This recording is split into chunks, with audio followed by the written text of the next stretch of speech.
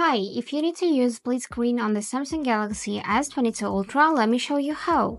So firstly, let's find the first application we want to use in a split view. For example, let it be Notes app. Let's create just a new note. And for another app, I'm gonna select YouTube. Now what we are gonna do is we just need to drag this YouTube app on the top of the screen and for the bottom select Notes. And here is your split screen, so you can use YouTube and notes at the same time, which is really useful. You can just watch videos and take immediately notes in this application.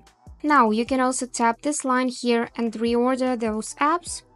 Also, if you tap the line, you will be able to change uh, the view of the applications. For example, you can make the Notes app as a floating window which you can drag anywhere across the screen and remove if you just drag it to the bottom like that.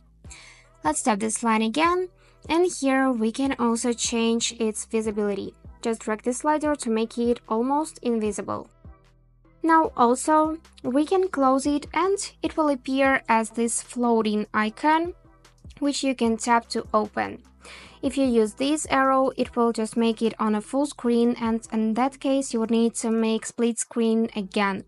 And also you can select this icon and see this tab more detailed. Now, when it is in a split screen view, you can tap this line, select these many dots and change the application. For example, let's select the messages and now instead of notes you have messages app. So, to close everything, you can just tap the line and close one app and then just remove it from recents or you can remove it from recents immediately. And also, you can open settings, go in the advanced features.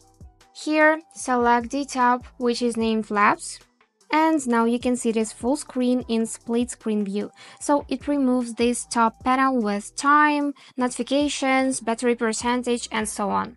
If you want to do this, just simply enable it by tapping on the switcher. And now let's test it. So I'm just gonna make this split screen once more. And now you cannot see here this top panel, so the application takes a full size of the screen. And that's it for today. I hope this video was helpful and thank you for watching.